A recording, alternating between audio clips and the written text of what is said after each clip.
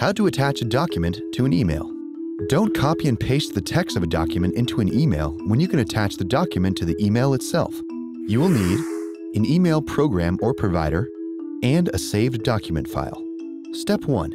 Address and type your email. Step 2. Click the Attach button in the toolbar of your email program. This button is usually indicated by a paperclip or the words Attach File.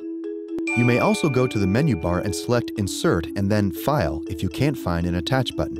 Step 3. Find the file location using the dialog box that popped up on your screen.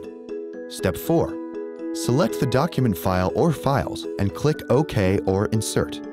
Step 5. Continue writing your email and click Send to shoot your document into cyberspace. Did you know companies that send spam containing sexually oriented material must include the warning sexually explicit in the subject line or face fines for violations of federal law?